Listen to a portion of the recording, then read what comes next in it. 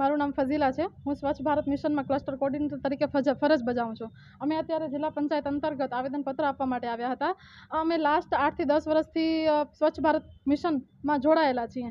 તમે જાણી શકો છો કે સ્વચ્છ ભારત મિશન છે ને એ ગુજરાત સરકાર અને જે આપણી ભારત સરકાર છે, એના માટે બહુ ખૂબ જ મહત્ત્વની કામગીરી છે. અને એ એ યોજના અંતર્ગત અમે કામ કરી રહ્યા છીએ. પણ છતાંય પણ જે મહત્ત્વની કામગીરી મહત્ત્વની ભૂમિકા અમે બજાવી રહ્યા છીએ. પણ અમને સંતોષકારક અમારો પગાર મળતો નથી. ગ્રામ્ય લેવલે જે ક્લસ્ટર કોર્ડિનેટર કામ કરે છે, એને પાંચ હજાર મળે છે. જે તાલુકા લેવલે કામ કરે છે બ્લોક કરીને, એને સાત હજાર અને ટેકનિકલને તેર હજાર રૂપિયા સેલેરી આપવામાં આવે છે. તમે સમજી શકો, આજે મનરેગા જે છે મહાત્મા ગાંધી જે નરેગા મિશન છે, એનામાં જે મજૂરો કામ કરે છે, એ મજૂરોની પણ રોજની જે મહેનતાણું છે, એને બસો ને ઓગણત્રીસ રૂપિયા આપવામાં આવે છે, જ્યારે અમારું રોજનું મહેનતાણું એકસો છાસઠ રૂપિયા થાય છે. તો આ એક સરાસર અન્યાય છે કે તમે જોઈ શકો છો આજે પાંચ હજાર અને સાત હજાર જેવી સેલેરીમાં આવી મોંઘવારીમાં ઘર ચલાવવું કેટલો મુશ્કેલ થાય છે. ઘણા બધા લોકો ફેમિલીવાળા છે, ઘણા બધા લોકો એવા છે જે ઘણી બધી લેડીઝો છે જેને ઘર હલાવવા માટે આ બહુ જરૂરી છે. તો આજે તમે જાણી શકો છો કે જ્યારે સ્વચ્છ ભારત મિશન ચાલુ થયું, ત્યારે શૌચાલયના જે પૈસા આપવામાં આવતા હતા, ત્યારે સાતસો, આઠસો, પંદરસો સુધી પૈસા આપતા હતા. અત્યારે શૌચાલય બનાવવા માટે એક શૌચાલયના બાર હજાર આપવામાં આવે છે. શૌચાલયના, એક શૌચાલયના બાર હજાર હોય, પણ અમારી સેલેરી પાંચ હજારથી ક્યારે વધી નથી. પાંચ હજારથી સાડા સાડા પાંચ સાડા પાંચ હજાર સુધી, પાંચ હજાર, સાડા પાંચ હજાર જેવી બધાને સેલેરી આપવામાં આવે છે. તો તમે સમજી શકો છો, આટલી સેલેરીમાં આટલા પૈસામાં ઘર ચલાવવું કેટલું મુશ્કેલ છે.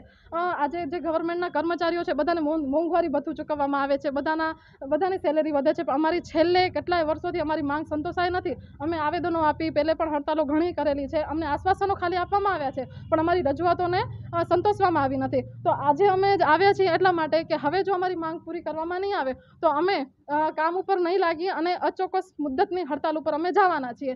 હવે વિચાર્યું છે કે પાંચ હજારમાં નોકરી કરીએ એના કરતાં ઘરે વાડીમાં ખેતમજૂરી કરવી બહુ સારી છે. કેમ કે અઢીસો રૂપિયા તો ત્યાં મળે છે. આનાથી વધારે ત્યાં મળી જશે. હવે અમે ભણેલા ગણેલા અભણ કહેવાઈએ છીએ આવીને. તો અમારી અહીંયાથી મીડિયાના લેવલેથી રજૂઆત છે કે અમારી માંગણી સંતોષાય. અમારું જે દુઃખ છે એ તમે અનુભવો અને અમારી માંગણી છે એ જલ્દીથી જલ્દી સંતોષાય એવી અમારી આશા છે. બાકી તો હવે જે થશે એ બધા અહીંયા ઊભા છે અને બધા જોવે છે કે વાંધો નહીં, જો નહીં થાય, તો અમે કામ ઉપર લાગવાના નથી અને હડતાલ કરવાના છીએ. થેન્ક યુ હું વિનોદ ભાનુશાલી, સ્વચ્છ ભારત મિશન ગ્રામીણમાં બ્લોક કોર્ડિનેટર તરીકે કામગીરી કરું છું. અને આજે સ્વચ્છ ભારત મિશન ગ્રામીણ અંતર્ગત તમામ તાલુકાના ક્લસ્ટર, બ્લોક કોર્ડિનેટર અને એન્જિનિયરો એક આવેદન રૂપે નિયામકશ્રી અને ડીડીઓ સાહેબને આવેદન આપ્યું છે. અને અમારી મુખ્ય માંગણીઓ એ છે કે સમાન કામ, સમાન વેતન. આજના લઘુત્તમ વેતન ધારા મુજબ પણ અમારો જે નજીવો પગાર છે, ક્લસ્ટરનો પાંચ હજાર, બ્લોક કોર્ડિનેટરનો સાતથી આઠ હજાર અને એન્જિનિયરનો તેર હજાર. તો છેલ્લા અમે અગિયાર વર્ષથી આ યોજનાની અંદર કામ કરીએ છીએ અને માનનીય પ્રધાનમંત્રીશ્રીની આ જે ફ્લેગશીપ યોજના છે. અને એ યોજનાની અંદર છેલ્લા અગિયાર અગિયાર વર્ષથી અમે કામ કરવા છતાં પણ આજ દિન સુધી અમારો જેટલો પગાર વધારો જોઈએ એટલો થયો નથી. તો આપના માધ્યમથી અમે સરકારશ્રીમાં પણ જાણ કરવા માંગીએ છીએ કે અમારી વખતો વખતની રજૂઆતો, લેખિત મૌખિક રજૂઆતો કરવા છતાં પણ હજી સુધી જે અમને ન્યાય મળવો જોઈએ એ મળ્યો નથી. તો એના માટે તારીખ અઢાર પાંચ બે હજાર બાવીસથી અમે અચોક્કસ મદદની હડતાલ ઉપર છીએ. જ્યાં સુધી આ અમારા પગારલક્ષી અને સમાન કામ સમાન વેતન અંગે કોઈ નિર્ણય નહીં લેવામાં આવે ત્યાં સુધી અમે કામથી અળગા રહેશું અને હડતાલમાં જોડાયેલા રહીશું. ખાસ કરીને જે હડતાલમાં તમે હડતાલથી શું નુકસાન થશે?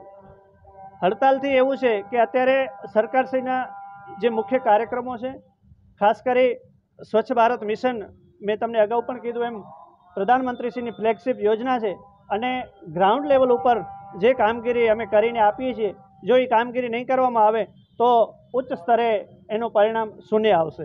જેના થકી અમારી જે હડતાલ છે, એનો સોએ સો ટકા અસર થવાની છે અને ફરીથી આપના માધ્યમથી મુખ્યમંત્રીશ્રી અને તમામ ધારાસભ્યોને અમે પણ આવેદન આપવાના છીએ. તેમ છતાં પણ આપના માધ્યમથી પણ સૌને જાણ થાય અને અમારો જે હડતાલ છે, એના અંતર્ગત કોઈ સચોટ અને સત્ય ન્યાય મળે એવી અરજ છે બધાની.